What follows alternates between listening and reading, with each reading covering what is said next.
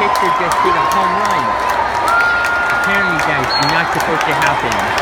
That's how you know the Padres are really, really.